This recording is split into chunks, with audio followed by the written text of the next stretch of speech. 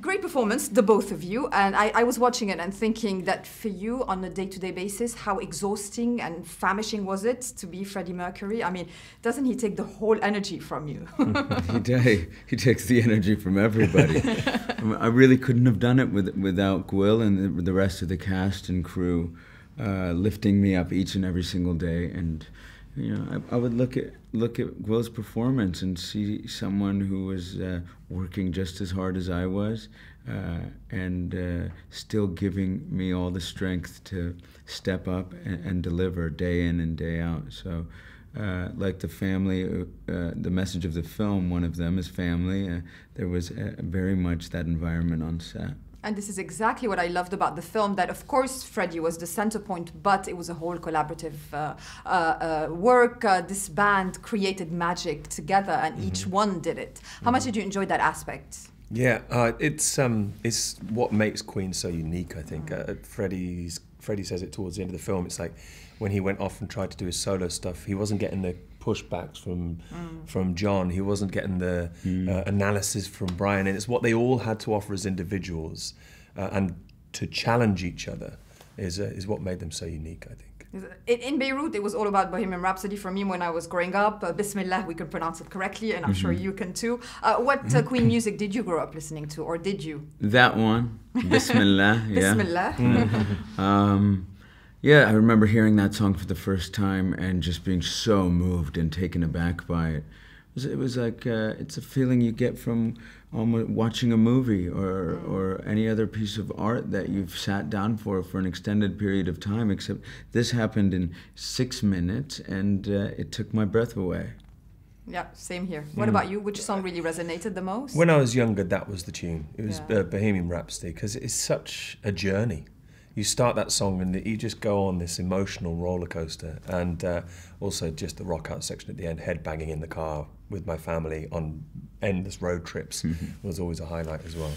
How was it recreating Live Aid, uh, knowing that there weren't 70,000 people in, in that set, but uh, the energy was the same? It, it must have also been quite an endeavor. It was. That was the first thing we started with on uh, day one, which uh, was uh, a bit outrageous at the time, but ended up uh, kind of uh, fusing us together as a band.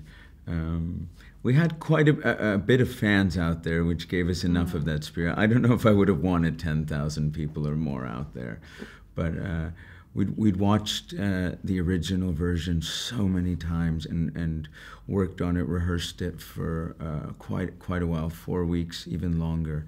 So to come out there and see it for the first time, the set, the stage, the the fans uh, waiting outside was uh, it was like peeling back the curtain and stepping out of a dream and into reality did Brian share how they felt that day? Because it's not only how the audience felt; it's really how they felt. They must have been baffled by themselves. Yeah, and you know, you've got to bear in mind they hadn't played together for a while. Yeah, uh, they didn't know what to expect. They didn't have sound checks. No band had a sound check that day. They weren't playing on their set, on their stage with their production. It was like all was being laid out, you know, bare in front of everybody, um, and so there was a certain amount of fear and uh, trepidation.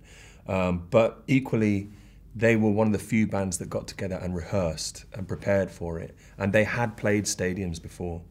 So uh, they knew how to, partic- uh, Freddie particularly knew how to engage with 70,000 people mm. and letting every single one of those 70,000 people let, think that it's, he's speaking to them individually. Mm. Uh, when you're an actor, it's a little bit of the opposite. You kind of hide behind a character. So how exposed do you feel when you have like you know so many people that you have to really engage with.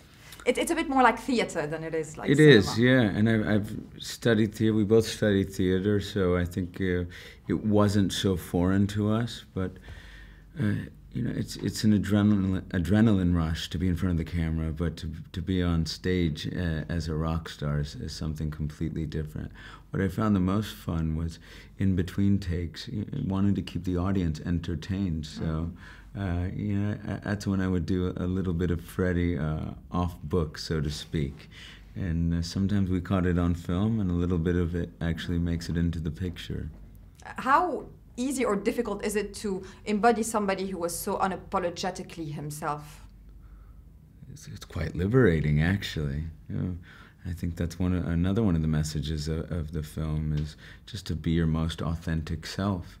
Uh, yeah, he, he just lived his life his own way, unapologetic, as you said. He uh, he didn't want to be uh, uh, categorized or identified in any particular way, and uh, I think that's what we're all striving for uh, in today's society. I think it'll be a great message for generations to come. Do you think it's a message that most of the you know cast and crew and, and Brian May want to convey to the audiences? What do, the, the message the, of of authenticity in everything? I think in art, in personality, in everything. Absolutely, I think it's something that they've put, they've made central to their identity as a band with mm. Queen is is to celebrate individuality, to celebrate yeah. uh, and not to doubt yourself, but just to commit to it and have a joy in doing so. I've always been a Freddie Mercury fan for, for, for many reasons, but mm-hmm. what do you love most about him now that you've been him for a short while? I, mean, I don't want to be redundant, but I think that's it. Uh, uh, yeah. Just how how free he was, and I mean, work towards it. I think what I love is, you know, here's this story of a, a young immigrant kid growing up in London who's uh, just try, try, well moved to London at 18 mm. from Zanzibar, very strict uh, family. I, I can understand that and relate to that uh, having Egyptian parents, um, and then you know believing in yourself and going against the grain to uh, to live out your dream is is something that I think he makes. Um, possibly more achievable for the world at large. I think uh, I think he, he just throws his fists in the air for the dreamers, and I like to include myself, uh, both of us, in, in that. Exactly. I mean, same here. Not becoming a doctor or a muhandis or a or a, yeah. a banker or any of those uh, very. No. It's not. It's not the same in England, right? You, you're you're not expected to always like grow up to be a doctor. Well, actually, my dad's a doctor, my brother's a doctor, my sister's a nurse, yeah. so that was probably expected of me. Yeah. I'm the disappointment of the family. أختي دكتورة كمان. أكيد أختي دكتورة كمان. And when I told my parents I was going to be a TV presenter, it was like. Uh, muzia, which is a, a, bad way to say yeah. presenter. yeah. But you know, the music is also uh, a character, obviously, in the film. Uh, so, how much music was around you all throughout filming this? It was constant, wasn't mm. it? Yeah, we'd always have we'd always have something to be working towards. So mm. we finished Live Aid. There were six songs that we performed in that, and then only a couple of weeks later, we had a whole new heap of songs to play in in the next uh, a um, load of concerts, and that, it just kept on coming like that. So, yeah. mm. in between every take, we'd have guitars and, and instruments on set, and we'd try and find a little space to go and practice. And yeah, it was constant. and finally, Rami, how much would it mean to you being nominated for awards and for an Oscar for being Freddie Mercury in particular? Oh, because I'm rooting. You're rooting. Yeah, I mean, we all we all dream of that uh, when we're young. I think maybe not everybody, but the ultimate award is that uh, I've made it here today, and tomorrow I get to celebrate this film with Gwyl, the rest of the cast, uh, the original members of Queen. In Wembley. At Wembley Arena, in front of an audience of, you know, almost 7,000. Uh, if I want more than that, I'm, I'm asking for trouble.